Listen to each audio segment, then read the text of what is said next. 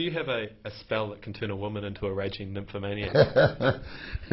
yes, it's very easy. You just play hard to get. That's all you have to do. If you ignore them and are rude to them, it starts to work. But if you like them and you chase after them, they're going to get colder and colder and cut you down. And if they don't want babies and they've got their own car, a well-paid job, what do they need a male ticket for? Women are seen as reward for men who pay the mortgage and carry the bags and write poems. They don't need a male slave.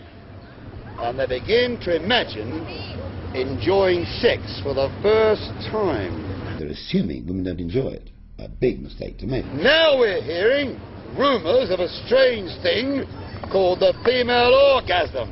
If you know how to handle them, women enjoy sex more than men.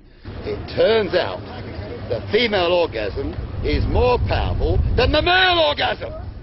A minor twitch by comparison. There isn't a reason to think that in future we might see sexuality as a female psychological necessity rather than male. And do you know that human female is the only animal in the known universe who has a sexual orgasm? No other animal does. And apart from the gibbon, they're the only female who's always on heat. We thought they were pure, lovely creatures who shut their eyes to the of England. If a girl enjoys sex, is she thinking of the man's pleasure?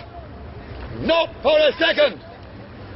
I'm sorry, chaps, but the days of us enjoying sex are coming to an end. And the only men who really enjoy sex anyway are homosexuals, you know.